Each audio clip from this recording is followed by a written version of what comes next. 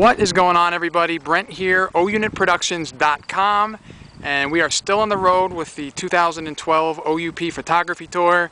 We are at the North Buckhannon Riverfront Park here in North Buckhannon, West Virginia. Um, just wanted to check back in here.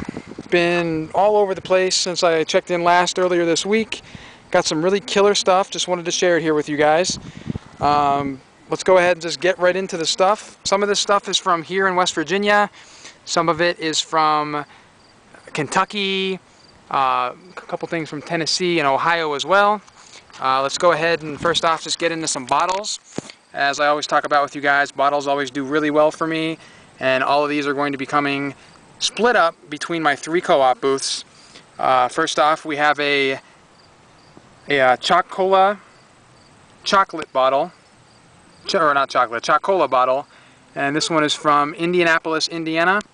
Really cool piece. Um, I don't know the exact price offhand for all these bottles. Uh, most of them I should be able to figure out when I'm going through it when I get home. But all of them are just a few dollars a piece. I think the, the most I paid was $5 for any of these bottles. Um, next up we have a, a, Pop Cola bottle. It says it's real nice. Really cool advertising on that one. And I don't see any towns on this, so I'll have to do a little bit of research on that. Uh, Delaware Punch. Actually got two of the Delaware Punch bottles. Here you see the other one. Let me go ahead and put that beside. Um, I actually picked these up because I think, not last time, but the time before when we were in Rehoboth Beach, Delaware, at uh, Dogfish Head, eating or Brewings and Eats. Um, they have a huge Delaware Punch tin sign on the wall. Um, thought it was killer, and so when I, I saw these bottles, I had to pick them up.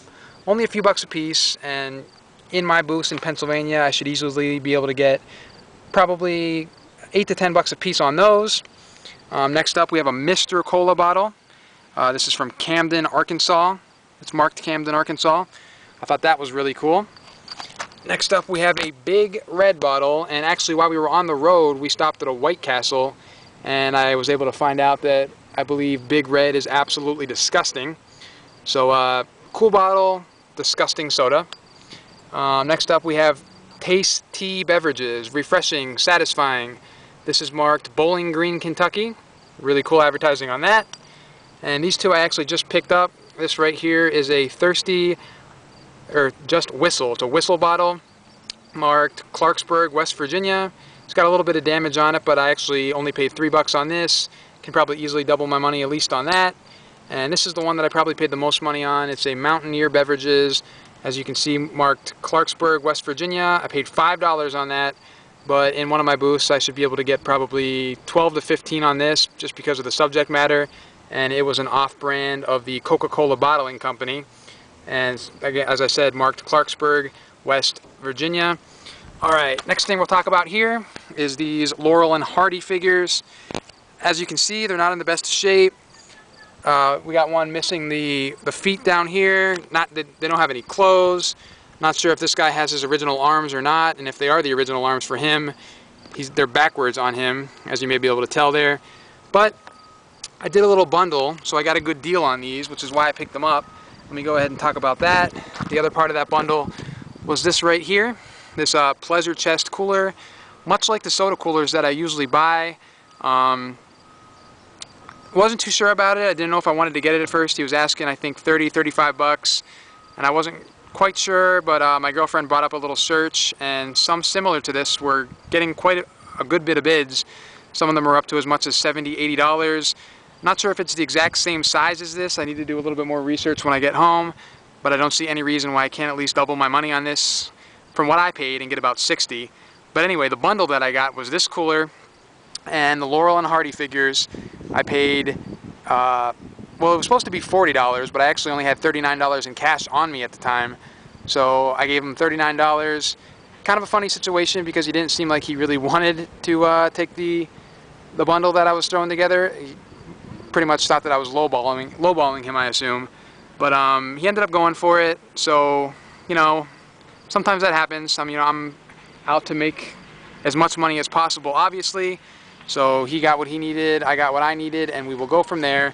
These Laurel and Hardys, like I said, not the best condition, but in one of my booths, I'm probably going to ask a minimum of about 20 bucks a piece for these. I'm thinking maybe 20 to 30. I need to do a little bit more research on that. All right, now we're getting into uh, some of the better stuff here. First off, uh, this I thought was really, really cool. This came from probably one of my best picks on this trip so far.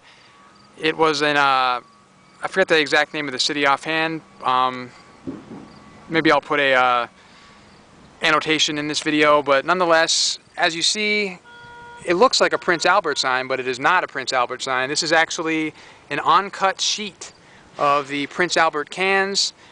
Really, really cool. I've actually never seen one of these. Um, I have a really, really good feeling about this. I paid less than $40, I think between 35 and 37.50. Um, it's actually marked up here $36. And I haven't really looked it up yet. I'm not even sure if there's going to be anything like this online to look up. But I don't see any reason why I can't get probably around 75 to $100 on this, maybe a little bit more. I suppose we'll see. Uh, but I thought that was absolutely killer. Definitely one of my favorite picks so far. And let's go ahead and get to the last few things here. This right here also came from the uh, same pick, and actually I believe it was Cave City, uh, I can't remember what state offhand, Cave City somewhere. I believe it was Kentucky, Cave City, Kentucky. If I'm wrong, I apologize. But anyway, this came from the same pick as the Prince Albert uncut sheet. Uh, this is also an on-cut sheet of these buttons right here. The buttons were only three for a dollar. Uh, so I picked up three of these just to show what this came from. And this sheet was actually only marked $10. Uh, as you can see, it's not in the best condition. It's uh, nicely bent, beat up, beat on corners, but I mean, it's absolutely awesome. I mean, you just don't find stuff like this, and especially where I'm from in Pennsylvania. And the fact that I got two uncut sheets, I think they're both going to do really well. Uh, as far as price value on this, I'm not exactly sure until I do some research, but I don't see why I couldn't get at least $50 on this. And what I'm thinking of doing actually is when I list this online, bundling the uncut sheet here with the three buttons, just so people can get an idea of you know what this originally was because honestly I've never even seen these buttons before but I just thought it was a really really unique piece and last but not least this is probably my favorite pick of the trip so far. I literally just picked this up probably about, I don't know, two, well, I don't, I don't know what I'm saying two for, but probably about 20 to 30 minutes ago here in Buckhannon, uh, West Virginia. Uh, this came from a co-op that we just happened to come across. We stopped at a different co-op first off, and as always, we looked at the, the rack where they have the different advertisements for local co-ops, and there happened to be an advertisement for this co-op. So we uh, went ahead and found it. Couldn't find it in the GPS at first, but we we we uh, ended up coming across it after some um, interesting times trying to find it. But as I said, this was in there. As there was a lot of that killer advertising stuff in this co-op, but to me, this was the best piece. Pretty much as soon as I saw it, I knew I had to have it, but I tried to uh, get the best price on it. It was marked 97.50. I uh, got a better deal. Originally, he took $10 off, but then I tried to get it down to $80. And he came back, finally, he said the best he could do was 85 So I scored it for 85 bucks. Haven't looked it up yet, but I've never seen one of these. Um, I love the little faces that are on the bottles.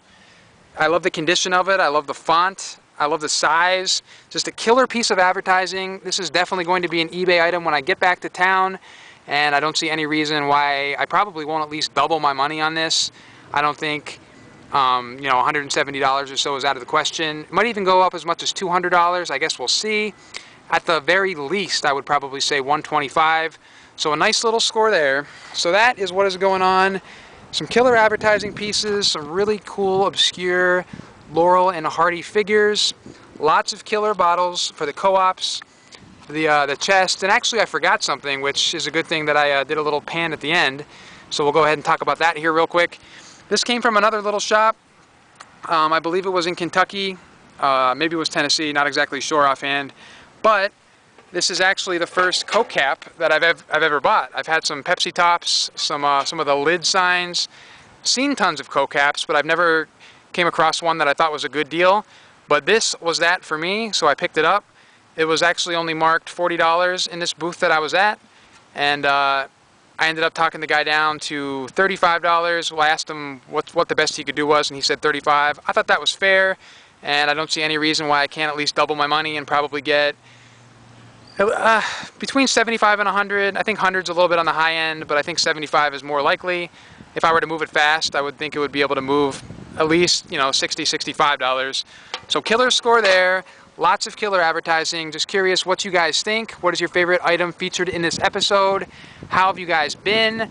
Um, we're getting ready to head through the rest of West Virginia, through Virginia, and then we are going to Rehoboth Beach in Dover, Delaware. Won't be doing a lot of picking there, as it's mainly going to be just laying on the beach, enjoying the casino, enjoying the sun, enjoying my girlfriend's birthday, having a blast, and getting ready to get back to the office and hustle all this stuff out so we can do it all over again. All right, thank you guys for watching. Check out oupphotographytour.com as well as my girlfriend's site, a ladiesperspective.com, and of course, ounitproductions.com. Still tons of live streams to come this week, all the rest of the month, leading up until the 31st, the last day of the 2012 OUP photography tour. I will check back here on YouTube soon, and if you would like some more exclusive news and videos and links, check out facebook.com slash ounitproductions. I will see you soon. Have a great day, and I will leave you with a view of Buckhannon, West Virginia.